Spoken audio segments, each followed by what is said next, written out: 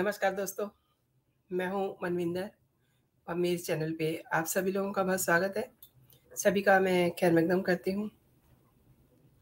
आज एक और बड़ा अपडेट है मेरे पास श्रद्धा मर्डर को लेकर के। लेकिन उससे पहले एक और बात है आज जैसे-जैसे आफ्ताब पे कानून का शिकंजा कसता जा रहा है, वो जेल में काफ़ी परेशान है और अजीब-अजीब हरकतें कर रहा है।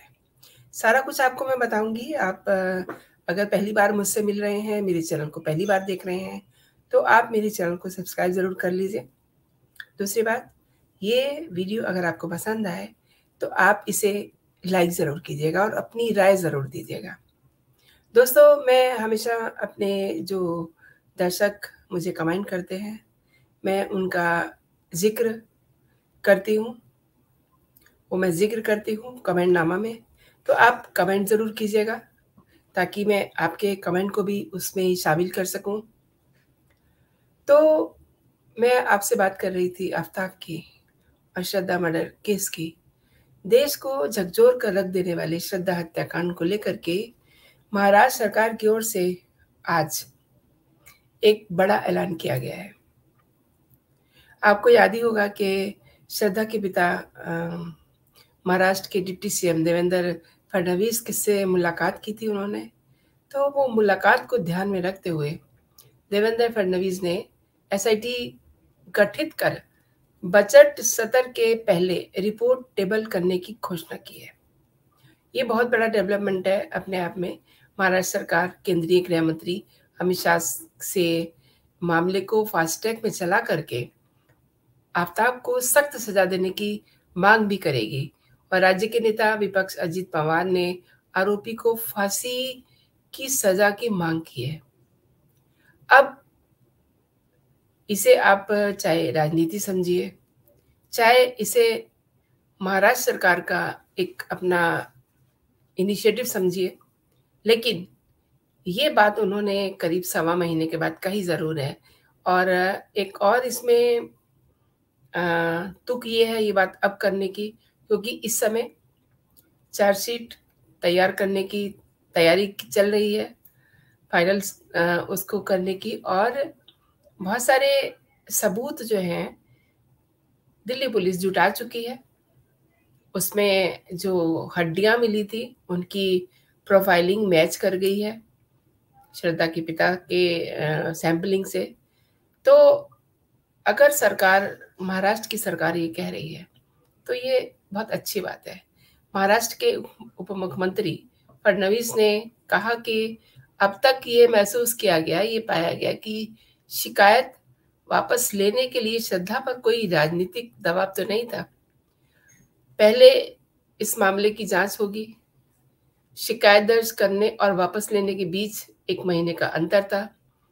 वो भी देखा जाएगा। और उस दौरान पुलिस ने क्या कार्रवाई की? एसआईटी ये सारे एंगल पे जाँच करेगी। हालाँकि इस सब के बीच जो बात की जानी चाहिए थी, जो बात, जो जाँच आसानी से हो सकती है, वो महाराष्ट्र सरकार ने नहीं की है। वो ये है कि बार बार ये बात आ रही है और श्रद्धा के पिता भी कह रहे हैं कि इसमें कहीं ना कहीं हाथ है आफ्ताब के माता पिता का भी तो उनको भी खोजना चाहिए कि वो कहाँ हैं। उनका बेटा जेल में है और श्रद्धा को बार बार वो इमोशनली ब्लैकमेल करते थे कि वो उनके बेटे के पास चला जाए। तो उनकी भी भूमिका है इस सब में तो उनको भी देखा जाना चाहिए, क्योंकि श्रद्धा वालकर के पिता विकास वालकर ने पिछले सप्ताह बीजेपी विधायक किरीट सोमैया के साथ डिप्टी सीएम देवेंद्र फडणवीस से उनके आवास पर ही बात की थी, मुंबई में। और इस मुलाकात के तुरंत बाद उन्होंने एक प्रेस कॉन्फ्रेंस की थी, जिसमें उन्होंने तमाम व्यवस्थाओं को दोषी करार दिया था। किसने? विकास वालकर ने। विकास वालकर को राज्य सरकार ने ये आश्वासन दिया था कि मामले की उच्च स्तरीय जाँच की जाएगी और परिवार को न्याय दिया जाएगा। मैं आपको बता दूँ कि श्रद्धा वाकर की हत्या का आरोपी उसी के live in partner Aftab Poonawal पर लगा है, आरोप लगा है।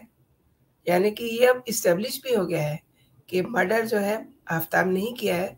आफ्ताब ने हत्या के बाद श्रद्धा के शव के पैंतीस टुकड़े किए और उन टुकड़ों को महरौली में जो उसने फ्लैट लिया था, उस फ्लैट में रखे हुए फ्रिज में उसने उन टुकड़ों को रखा था और फिर जब उसे मौका मिलता था, वो उन टुकड़ों को डिस्पोज ऑफ़ भी करता रहा। पुलिस की मैं अगर बात करूँ तो आफ्ताब पूना वाला रोज रात को इन टुकड़ों को शहर भर में फेंकने जाता था। ये बात खुद भी उसने कबूल की है। उसके नार्को टेस्ट हुआ है, उसका पोस्ट नार्को टेस्ट भी हुआ है और तमाम सारे साइंटिफिक टेस्ट हुए जिसमें उसने कहा कि उसने शर्त मारा है। उसके टुकड़े इसी तरीके से उसने यहाँ यहाँ फेंके हैं। और उसकी निशानदेही पर ही जो करीब करीब बारह तेरह टुकड़े मिले हैं, वो उसकी निशानदेही पर ही मिले हैं।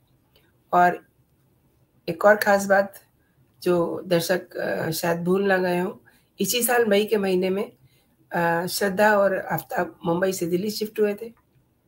दोनों के बीच शादी और घर के खर्चे को लेकर के झगड़ा हुआ था और ये झगड़ा अक्सर होता था, जिसमें आफ्ताब ने श्रद्धा की हत्या कर दी।